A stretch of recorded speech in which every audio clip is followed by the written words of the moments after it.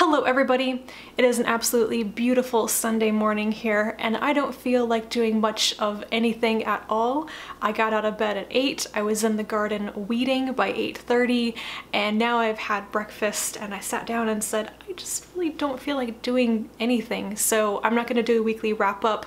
I have other things pre-filmed for this coming week so I'm just going to do a quick update on what I'm currently reading and how Tome Topple is going so far for me. So I'm going to start with Tome Topple first. Um, I finished The Margarets by Sheri S. Tepper, which is my buddy read with Joe. Um, as is pretty usual for me and Tepper, it was kind of equal parts things that I really enjoyed that I thought were really interesting and then things that I didn't like so much or I didn't quite like the way that Tepper wrote them or handled them. She never writes boring stories, which is why I keep reading her books even if I don't agree with quite everything, even if I don't think that she executes her stories the best every time. This one is probably one of my favorites by her just for sheer ideas. I think the concept of it was pretty interesting. The other book for Tome Topple that I have finished is my second one, which is The Moon and the Other by John Kessel. I went into this knowing absolutely nothing about it, which is really rare for me these days, and I really enjoyed it. Um, it's basically about a matriarchal society established on the moon and the patriarchal societies around it um, are trying to find a pretext for going in and investigating and taking over and they send in a team to investigate how men are being treated in the society and whether they're developing weapons. And there are a lot of interpersonal relationships with people who live outside of this kind of feminist utopia and then people who grew up there and were exiled and people who still live there and may or may not want to continue living there. And it was very quiet, very understated at first. I didn't really feel much from the story and then it started to really, really get under my skin by the end of it and I was quite impressed when I was done with it. The last thing that I have set out to read for Tome Topple is Green Earth by Kim Stanley Robinson. I am 207 pages into 1069. I could finish this by the end of Tome Topple if I read like 150 to 200 pages of it per day, which I could do if I wasn't distracted by other things, but the fact is I am distracted by other things.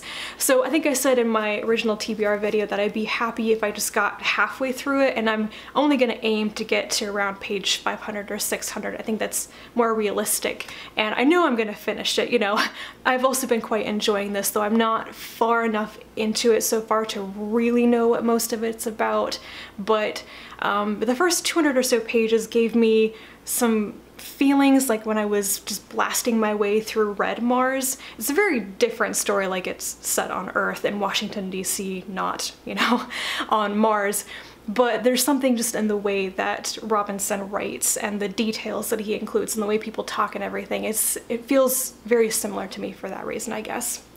So I'll probably get halfway through this and that will be the end of my quite successful tome topple. So now on to all the other things that are on my currently reading shelf on Goodreads, which I may or may not be actively reading right now. First up is Justice Hall by Laurie R. King, which is the sixth book in the Russell and Holmes mystery series. I've really been enjoying this. I'm about 70 pages from the end, so I'm gonna finish it today. That's kind of my priority so I don't lose the book on overdrive before I finish it.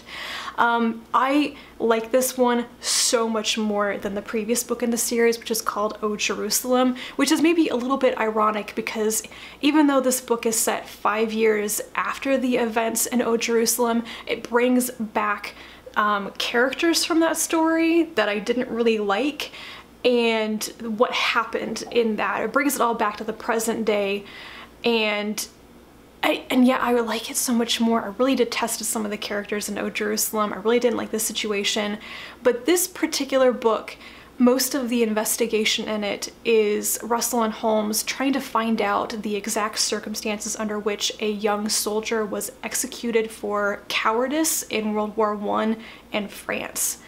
And it's really emotional. I'm, I'm not even done with the book yet and some of the scenes in it have almost moved me to tears. It's, it's been a really good story so far. So I'm glad that I'm liking it a lot more than the previous one. I think this will probably be one of my favorites in the series so far. And then I started on Ex Libris, which is an anthology of SFF stories about libraries and librarians, edited by Paula Guran.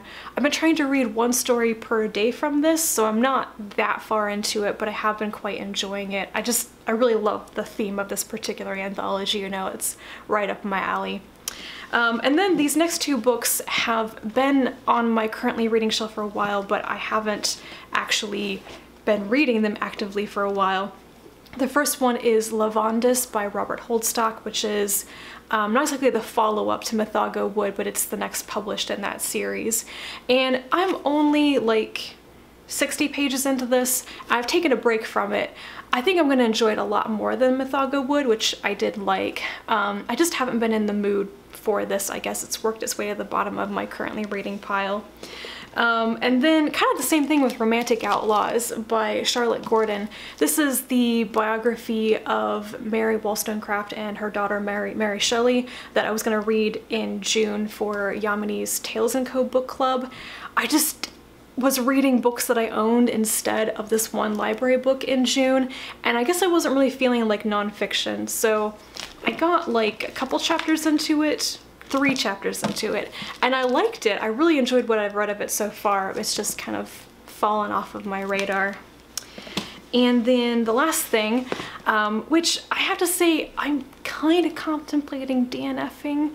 This is The Big Over Easy by Jasper Fforde, um, the first book in his Nursery Crimes Division series where characters literally investigate nursery crimes. This one is investigating the death of Humpty Dumpty who fell off a wall and yeah. Um, I think it's kind of kooky and whimsical and I really enjoy those aspects of it, but there's something about the main character. Jack Sprat, he's the main detective. It's just, he's kind of a wet blanket, I guess. I, I'm not really into his story and what is the eventual fate of the nursery crimes division and everything. So I don't know.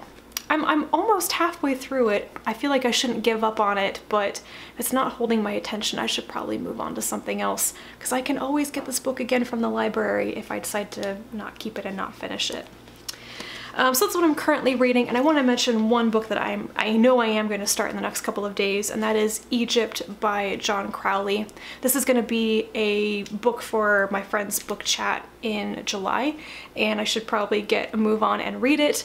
I haven't read anything by John Crowley since I read Little Big years ago. I did read his kind of annotated new translation of the Chemical Wedding, but that's not a, an original book by him. So it's been a while since I have read anything by him and I'm pretty sure I'm going to love his writing style because that's what I most loved about Little Big and I really don't know anything else about this book other than I'm gonna go kind of into blind and see what I think of it. And that, my friends, is pretty much it for me today. I've started a bunch of things and I'm getting that itchy feeling like I need to start finishing them so I can start a new batch of books. And uh, earlier this week, I went on a day trip to visit a friend and we were kind of just bumming around the downtown area of a city I haven't been to in close to a decade. And of course, I stumbled across two places that had really great book selections, a bookstore and kind of a hippie store, new age store, and I went kind of crazy and I bought a bunch of books of those places because they had really great SFF selections. They're sitting on my coffee table right now and I really want to get started on them and I should probably just indulge myself with that whim and read books very soon after I actually buy them, but yeah, I want to get done with Tome Topple first. So let me know how you guys have been this weekend. I hope you've been having as enjoyable and relaxing a weekend as I have had.